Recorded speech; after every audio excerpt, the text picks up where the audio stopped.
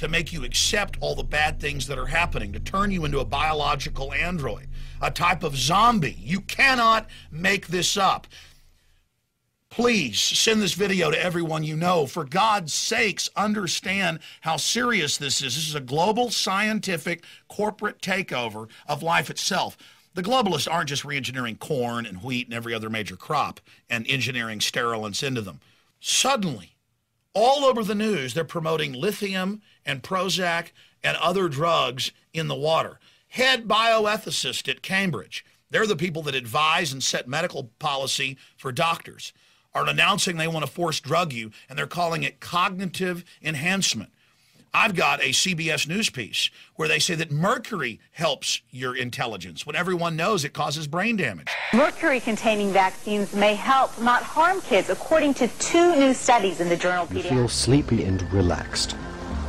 So relaxed. You trust me and what I say.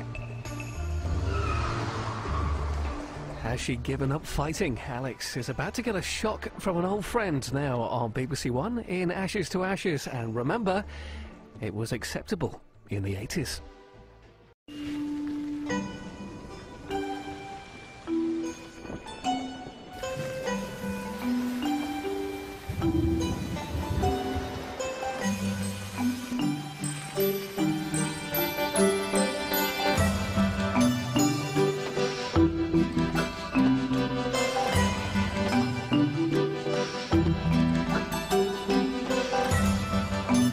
Now, with some strong language on BBC One and BBC HD, the weather's a top talking point with Andrew Marr in Britain from above.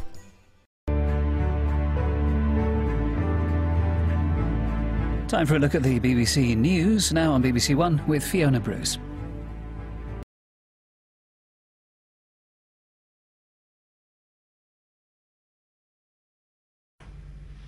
Okay, we're off. Hello, David. I hear. What message have you got for the journalists who work at the BBC? Well, journalists who work for the BBC, and I, I was one. Um, the, the, the, the message is uh, think for yourself and uh, don't take the norms in society. And this is what I would say to any journalist. Don't take the norms in society as the point of reference for how you see the world and how you report the world. Because that's what happens. I saw it in journalism myself. Um, people say, um, uh, so you're saying that all journalists are, are, are involved in, they're all manipulating. No, no. Um, what happens in, in journalism, is, mainstream journalism I'm talking about, is they take the norms in society at any point, and that's their point of reference. So anyone that is um, saying or doing things outside of those norms is, is, is, uh, in my case, ridiculed uh, because they're outside the norm. So a few centuries ago, today's journalists would have ridiculed anyone who said the Earth was uh, round, because the norm was at that time that it was flat. Um, and and so it's important for journalists to to open their uh, minds to see that uh, the norms are not necessarily um, everything there is to know. But then you've got the next level with the BBC and uh, mainstream journalism in general, in which there are uh, limits to what you're allowed to put out. Um, you know, if you uh, reported someone like me um, in a, oh, this this this guy takes points and this and all this stuff, then that's fine. You can you can talk, you can report me on that level. But if you said, okay, we're gonna we're gonna do this um, uh, report or this documentary on this guy, and actually we're going to take seriously what he's saying. Not that we're going to believe it, but what we're going to do is we're going to go with an open mind and we're going to look at the evidence. And that's a completely different uh, uh, situation, and I doubt very much if that would be um, acceptable, and certainly would not never make the air. Um, I've been interviewed a, a, couple of times by uh, tabloid journalists um, who wanted to do, on the last occasion, a two-page feature um, about what I was saying about me, and um, all the photographs were taken and everything. Um, but his article was uh, going to be actually this guy's not not crazy, and he might be saying this, but hey, you know, never made the, never made the paper, never got in, just never ever used. And this guy was a, a named frontline writer for that paper, never used. Um, so there are, there are two things running together in journalism.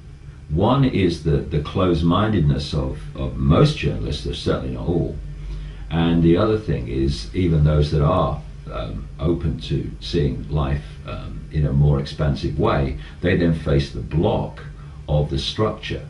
And the worst kind of censorship is self-censorship. This is how the system works. Um, it's like the uh, the mouse in the laboratory uh, maze. Um, if you're going to get a shock all the time for going down these channels, then you stop going down them, and you can take the shock technology away, the mouse won't go down there anymore because it's been shocked too many times. And with journalists, if you know that um, if you cross a certain line in what you write, then there's going to be, it's either going to get spiked, not used, or there's going to be a, a, a problem for you, then eventually most journalists know the line they shouldn't cross. And there's a very interesting um, uh, documentary which is available through the internet. It's about, I forget what it's called now, but it's about Fox News. And it's a documentary um, uh, talking to former people who worked for Fox News, of course Murdoch station in America, which is the most biased station I've ever, ever seen.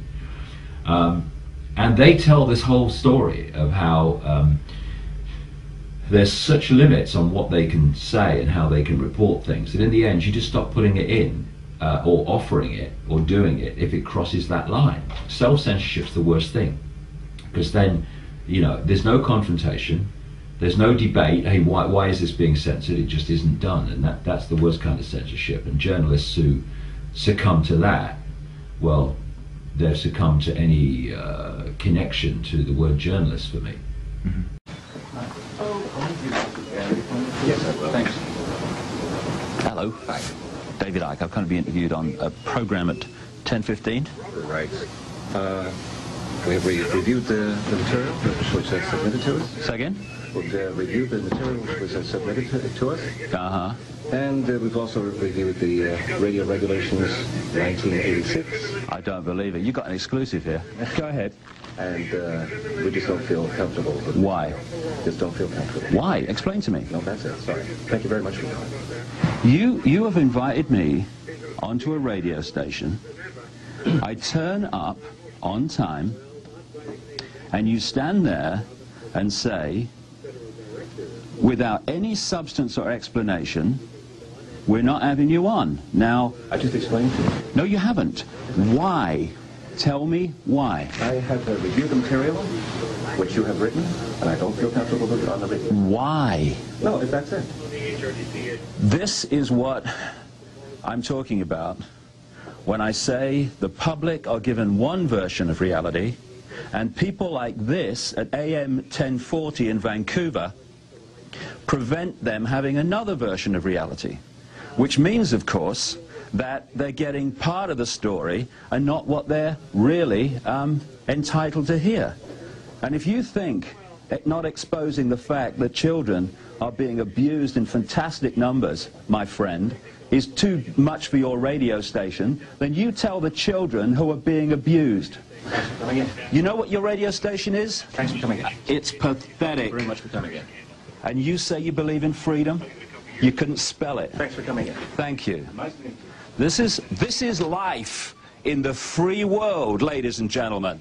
And this is one of the architects, unknowingly, of the destruction of our freedom. Good morning. Good morning, sir.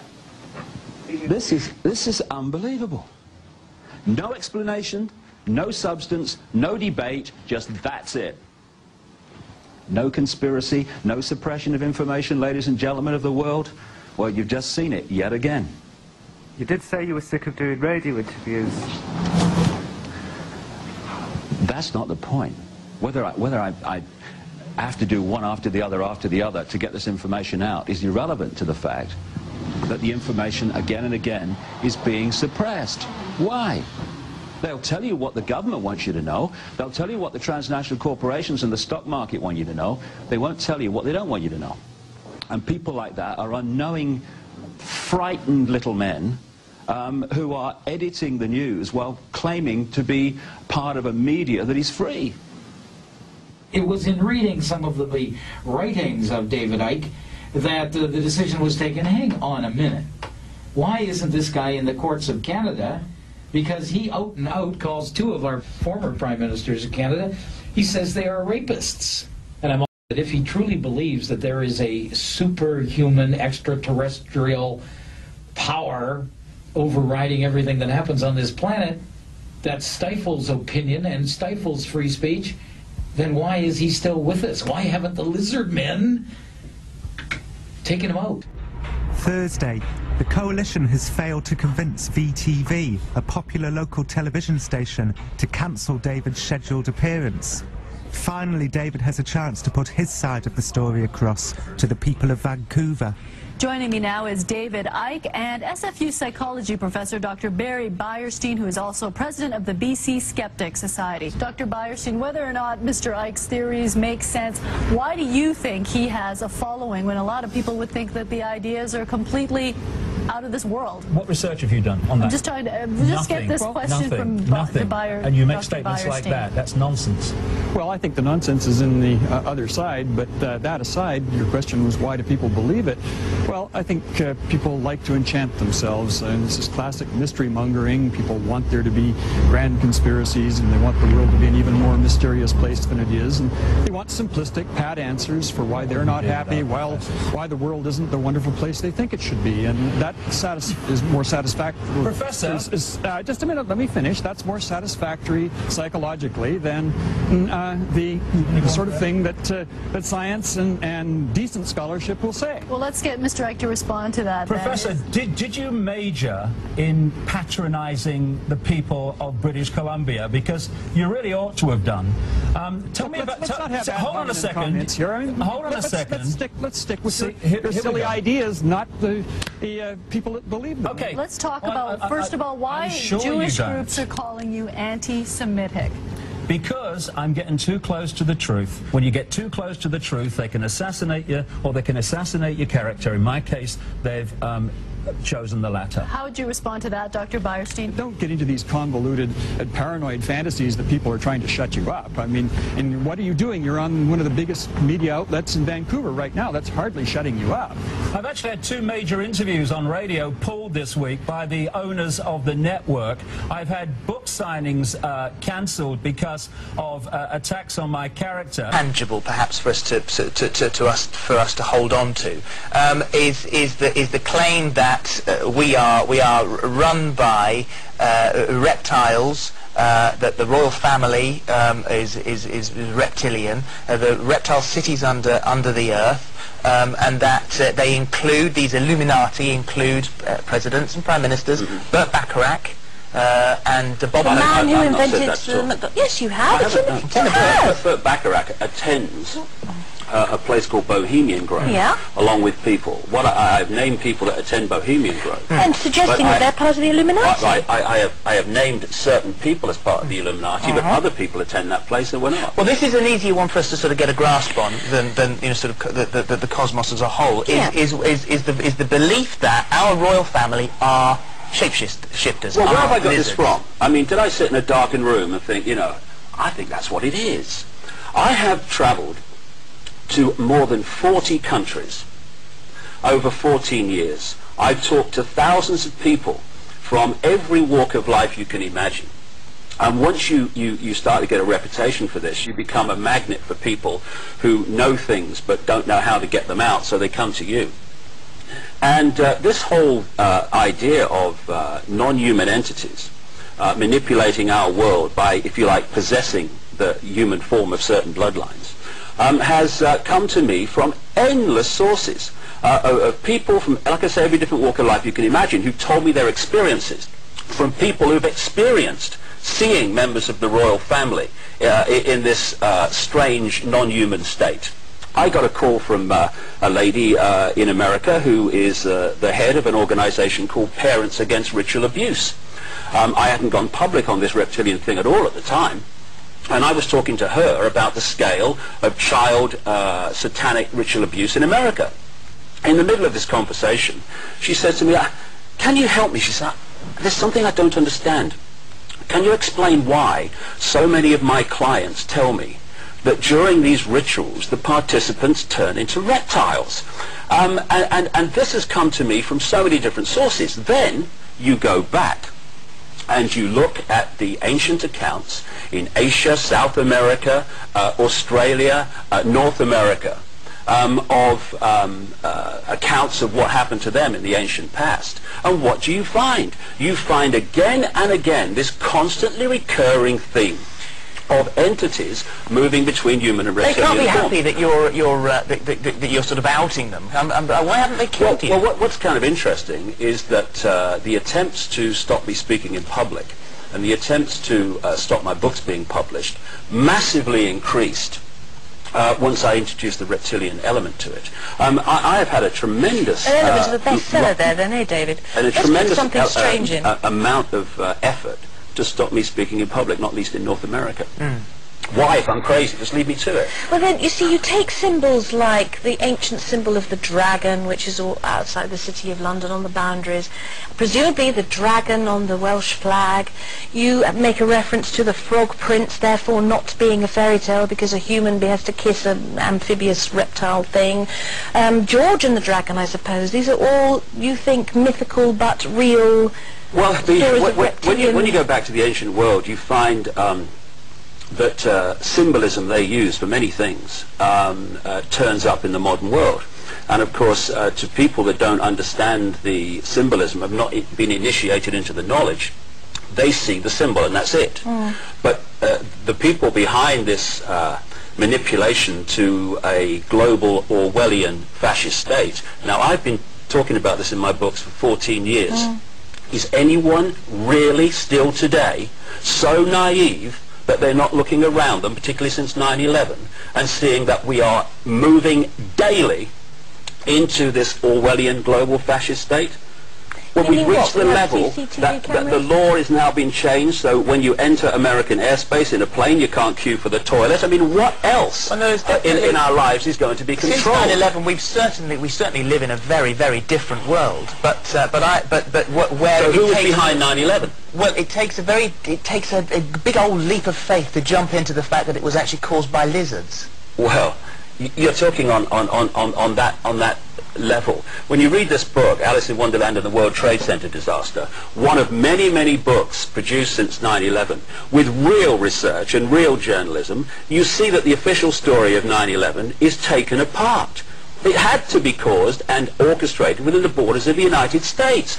You won't see that on Trevor McDonald tonight. You won't see that on, on ITN. But the real researchers and the real journalists who don't work for the mainstream media can take 9-11 apart. It is a lie from start to finish. you Not one strand of the official story fits with another. So you suggest the Americans, this is you suggesting, not our thoughts, but you suggest the Americans created 9-11 to frighten us into thinking, well, in that case, we must have a war on terrorism. The Ameri- well, yes, on, on, on, on, in a basic theme, yes, but not Americans. The force that controls America and controls the American government.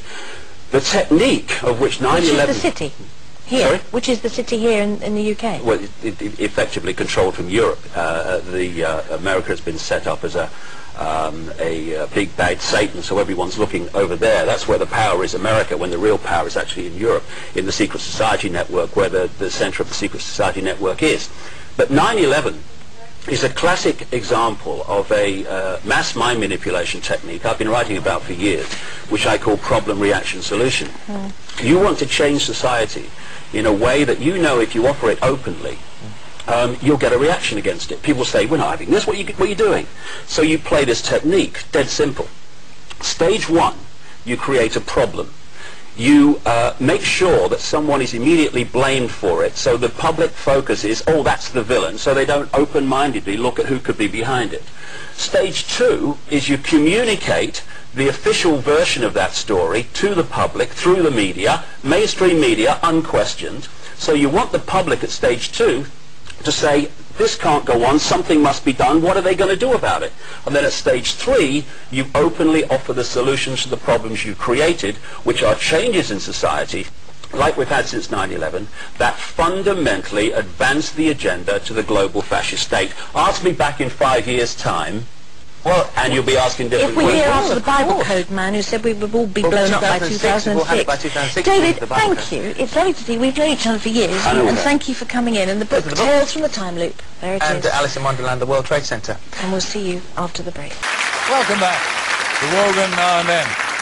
I first interviewed my next guest in 1991. Before then, he was best known as a popular BBC sports presenter, but by the time he'd appeared on Wogan, his life had taken a dramatic change. He proclaimed he was the son of the Godhead. He wore turquoise, as he believed it brought him closer to God. Have a look at this.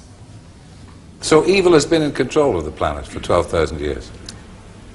It has been the dominating force. Evil's not the right word, it is imbalance. Um, but it has been increasingly in control, as I repeat. Survey the world, ladies and gentlemen.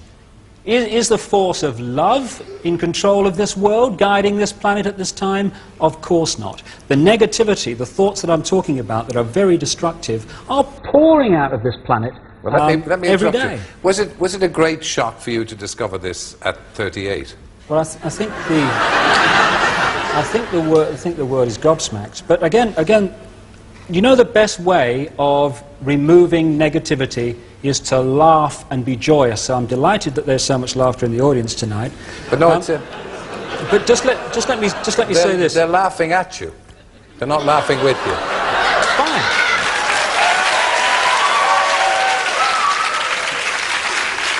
I didn't mean that. I didn't mean that to be hurtful. I don't want you to misinterpret it. They're not laughing in sympathy with you. So, well, 15 years ago, he was ridiculed for his prophecies about natural disasters around the world. And now he has a controversial new view about who really is running the world. I'm delighted that he's agreed to come back. David Icke.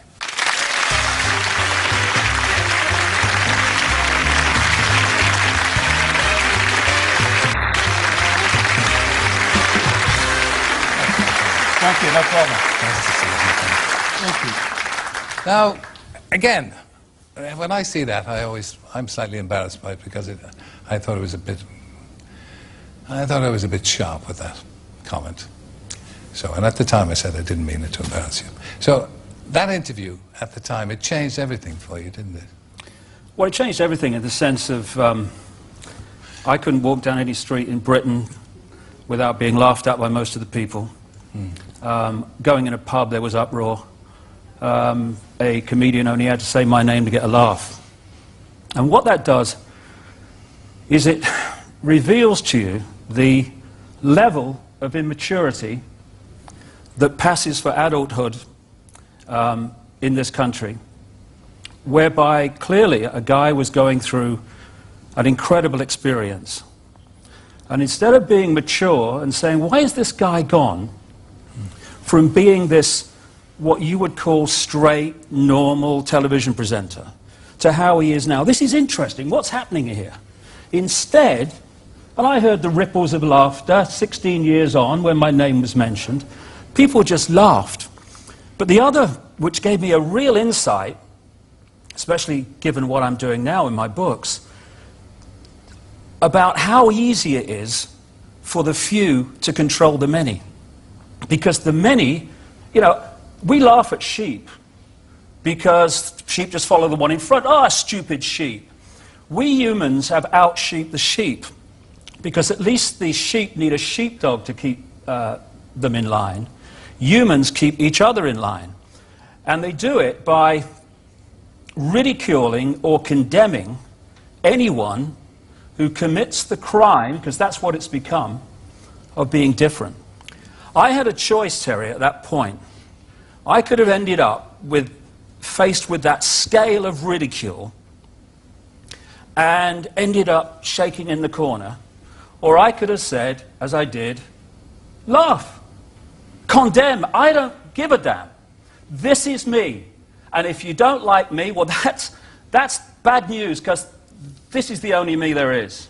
And I refuse to conform uh, and be bowed by the ridicule. And what, what it does, Terry, when you step out of the little box of what will other people think, how do I put this in a way that people won't think I'm crazy, you then realize how small a box you've actually been living in. But you do understand that, and I know you do, that you did make yourself a target because what you were saying was outlandish. It was, by, by normal standards, outlandish and outrageous, very intense. Just have a look at this.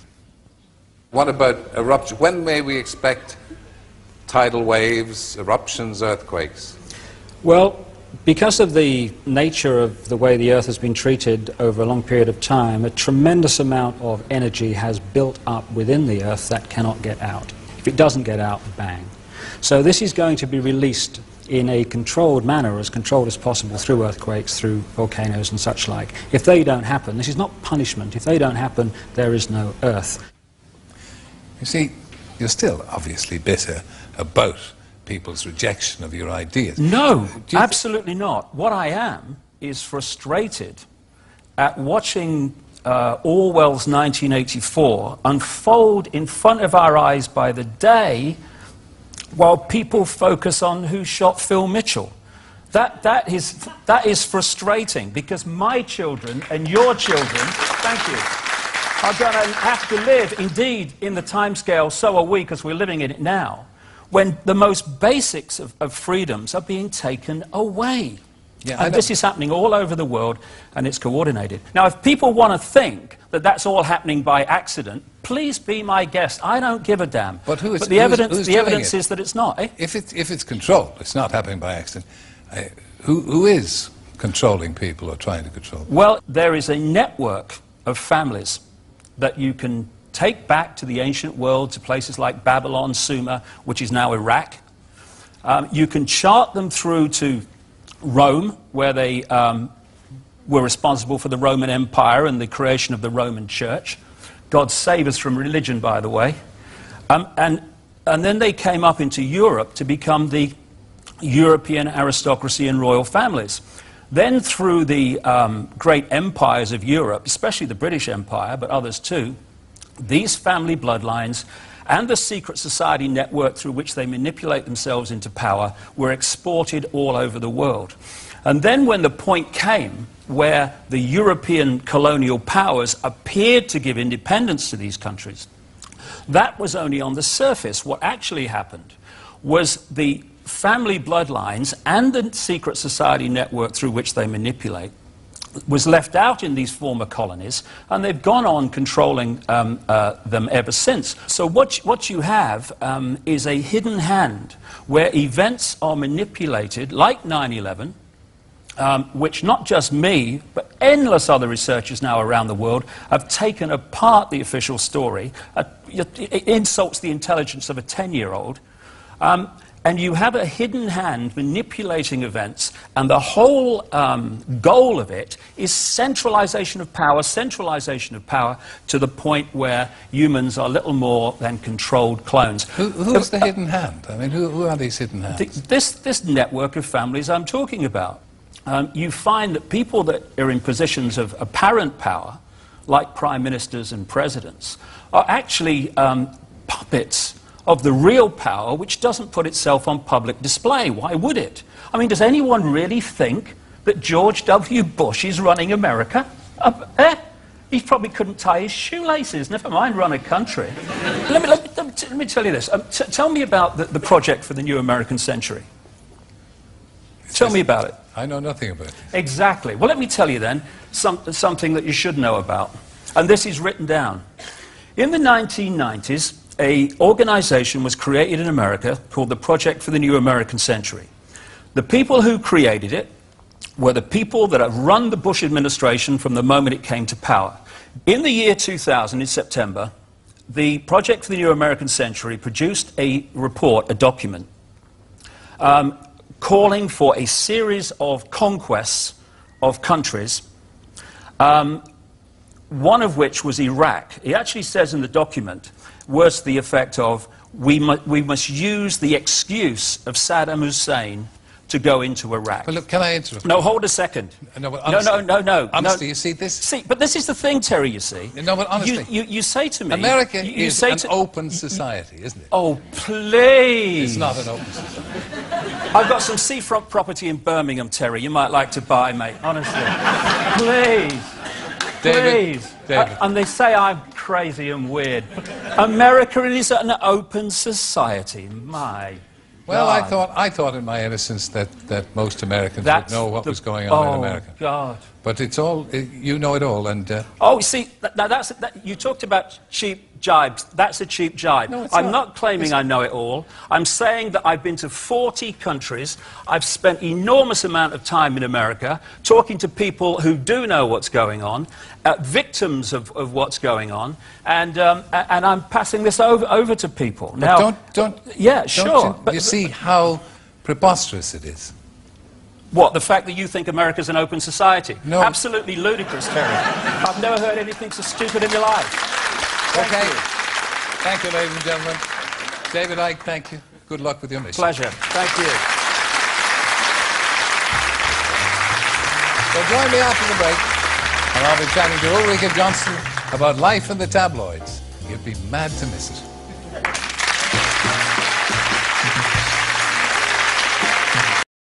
Round and round, swirly, swirly, you're in a swirly trance and so relaxed.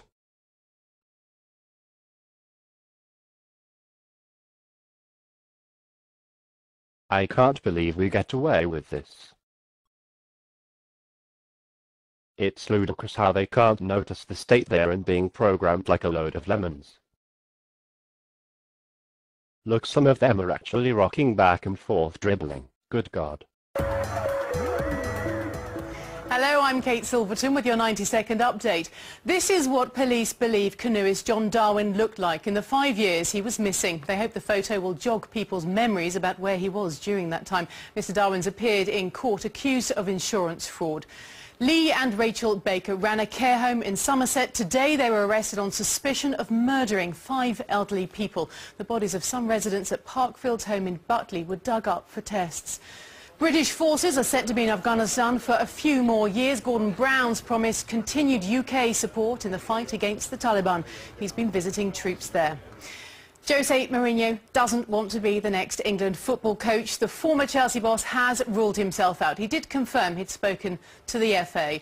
And this is a long-eared jerboa. It looks like a mouse-sized kangaroo. It's the first time it's been caught on film. Experts say they're in danger of extinction. Over to Bob for the weather and funnies. A murdering mob, some ugly Bugs Bunny. With a Valentine's card from a ghost town that's haunted by the National Guard and America's least wanted.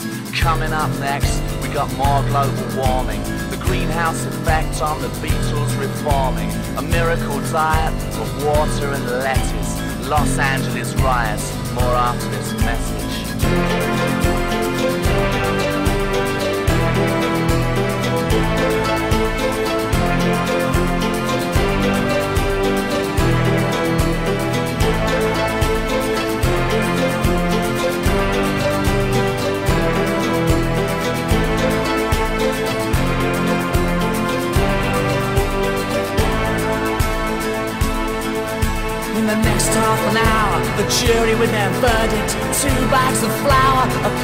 And a turnip. On the day of the jackass in the year of the bing bong, they adjourn to the crack house for a beer and a sing song.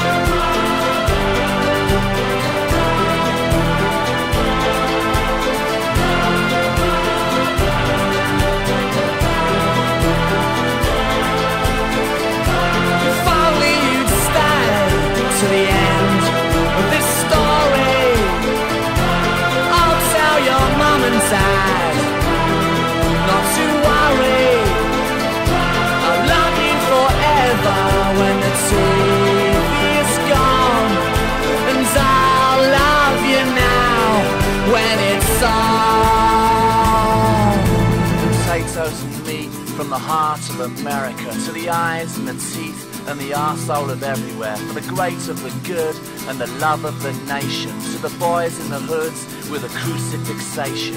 Cable the network to the land to the plenty where the tables are set. But the cupboards are empty. It's sexy, it's groovy, it's big and it's clever. Turn on tune in and switch off forever. Turn on, tune in, switch off forever. Turn on, tune in, switch off forever. Turn on, tune in, switch off forever. Turn on, tune in, switch off forever.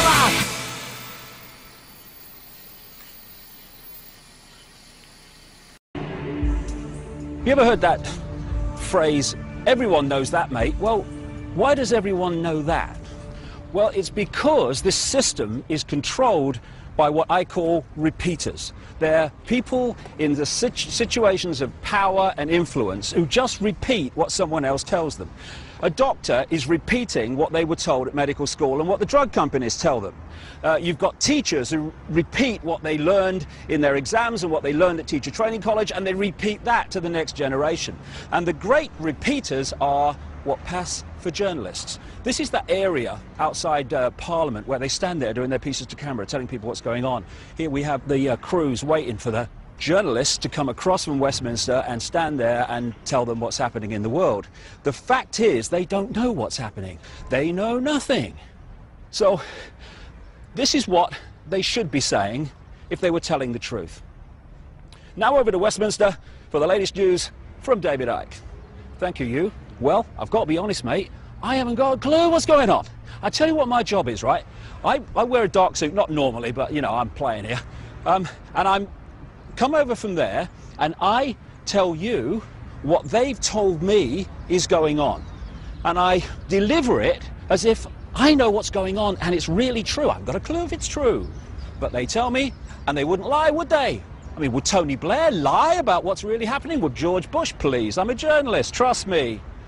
And so, what we call news, you, what you get paid a lot of money for reading AutoCue about, is merely propaganda that they have told me and I tell you. David Icke, BBC, ITN, CNN, CBS, Sky News, Westminster. You think I'd be on hundreds of radio stations, on all these years, lying? You think I'd get away with that? I've already given you all the evidence and all the proof. Why don't you just go check it out for yourself? When I get up here and tell you Anwar al-Awlaki, I told you this five years ago, is CIA operative behind finding these mentally ill Muslims to, to, to carry out badly coordinated attacks as a pretext to take our rights. If that wasn't true, I'd be crucified. But people send me emails saying I'm lying about AP and Fox News. I'm not lying about any of this. I'm telling the truth. And a lot of you out there that sit on the fence and quietly know this is true, media people, government people, corporate people who go along with this, you're being enslaved because of it.